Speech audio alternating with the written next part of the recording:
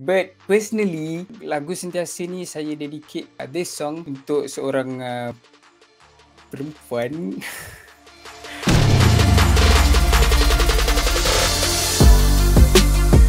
Yay. Hai, Assalamualaikum Firdaus, apa khabar? Waalaikumsalam. Kabar baik.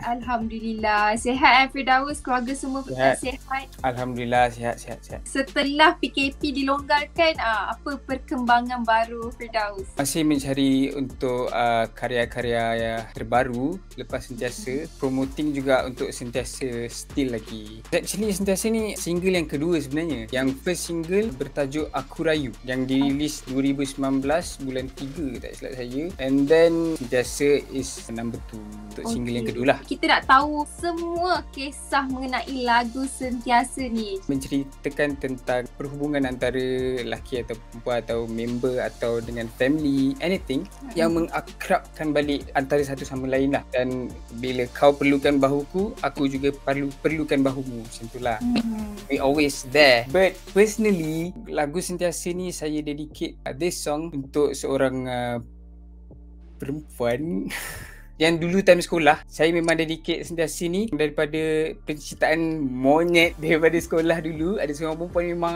tak tahu lah saya memang tak boleh lupakan dia. Dan dia dah menjadi su- isteri saya sekarang. Wow. So saya wow. dedicate this song to her lah. Jadi lagu ni memang dikompos oleh Firdaus sendiri lah. Collaboration dengan Iki Hugh dengan Darian. Once diorang buat demo tu those macam eh lirik dia macam kena lah. Macam kena.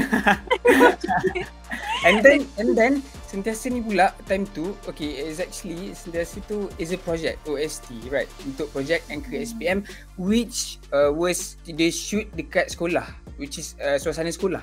And sangat-sangat kena dengan cerita saya tau. Yeah. saya macam wow saya rasa dalam banyak-banyak macam saya jumpa perempuan dia dia faham tapi dia tak semaksudnya chemistry faham tak chemistry, uh, chemistry dengan yeah. si dia ni dia macam Ish, dia tak boleh, dia tak boleh. Tapi bila bila patah balik dekat yang school apa, mm-hmm. uh, cerita monyet ni, yeah. macam, ish. Okay, ya. I think this is the one lah. the one.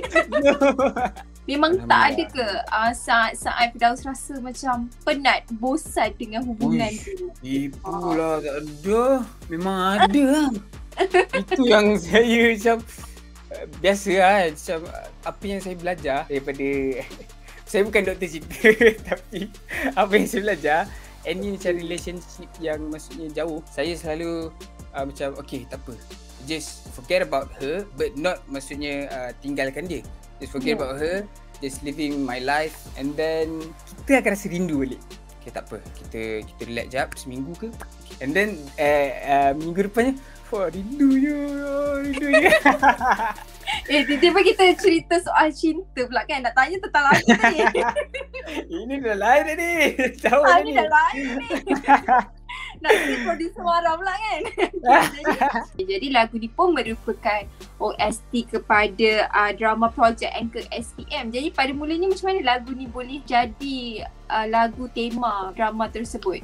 Quite a fun story juga Sebab saya dibagikan tugas untuk uh, buat voice demo for that song tau. Lirik macam oh, cakap dengan aku lah tak apa Just nyanyi untuk demo untuk bagi dekat artis untuk nyanyi And but then uh, yang project tu dah lock untuk project Anchor SPM lah. And then saya dapat call daripada staff label, "Weh, Dos, kau ada news ni. Kalau kau nyanyi boleh tak?" Ha? Asal aku nyanyi pula? Ya Allah. macam uh, sebab saya tak tentu saya tak ada rasa macam it's not for me okay tak apa but then my head producer rasa lagu ni sesuai untuk saya